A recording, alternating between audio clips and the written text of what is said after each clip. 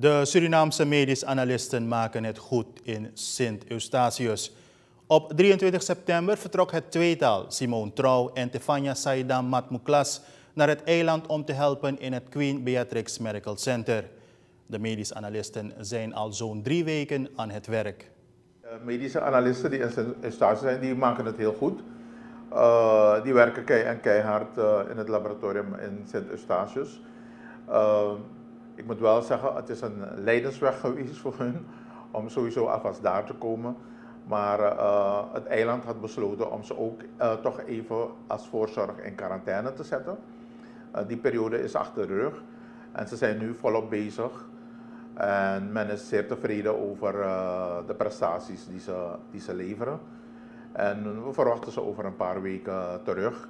Loaded met ervaring. En ik kan u nu ook al zeggen dat andere eilanden al kijken naar um, uh, analisten uh, uit Suriname.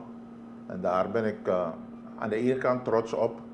Maar we moeten ons hart vasthouden dat ze niet ons leuk land willen gaan verruilen voor het werk op een eiland.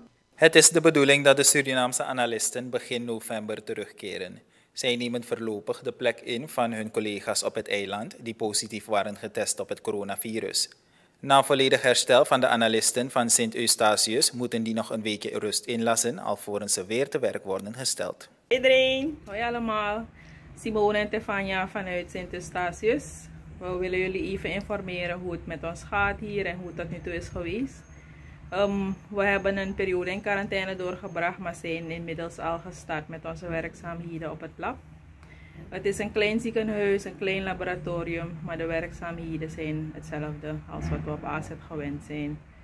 Um, ja, een van de personeelsleden zit momenteel nog in quarantaine.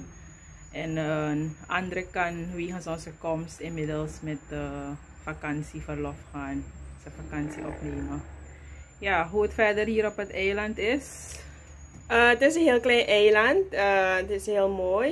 Um, lieve mensen, we hebben Surinamers hier op het eiland ontmoet. Dus ze hebben heel goed voor ons gezorgd. En um, ja, het, het, leven hier is anders dan in Suriname. Die straten zijn ook anders. Je rijdt hier vaak uh, uphill. uphill. Ja, je ziet veel stenen hier. En oh ja, wat zo bijzonder is, is in, uh, in Suriname hebben we straathonden. Hier op Sint Eustatius zijn er straatgeiten, straatkoeien en straatkippen. Ja, die lopen hier vrij rond en ja, het is gewoon normaal hier voor de bewoners. Dus dat vonden we heel bijzonder, bijzonder om te zien. Ja, en um, we werken er tot eind van deze maand. Ja. En uh, zien we jullie in, op 4 november terug in Suriname. Yes. Stay safe. Stay safe. Doei doei. Ook andere eilanden in het Caribisch gebied doen een beroep op onze medische analisten, zegt Dr. John Codrington. Er was een outbreak en die outbreak was in het ziekenhuis. Hè.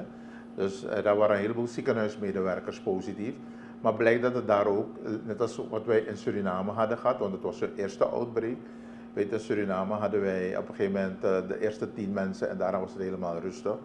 Dus het schijnt rustig te zijn. Uh, er zijn geen nieuwe gevallen, dacht ik, bijgekomen in Sint Eustatius. Maar de mensen die het gehad hebben, vooral de gezondheidswerkers, die moeten herstellen. En ze gaan dus ook zorgen dat die mensen na het herstel ook even een weekje vakantie kunnen houden. En onze mensen zullen zorgen dat die periode overbrugd wordt. Maar ik heb begrepen dat de situatie in Sint Eustatius zelf uh, onder controle